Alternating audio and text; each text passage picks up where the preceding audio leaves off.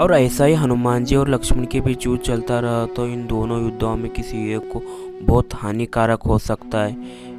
और ये हानि के कारण प्रभु श्री राम को बहुत दुखों का सामना करना पड़ेगा। और इस युद्ध का कारण जानने के लिए वीडियो देखते रहिए।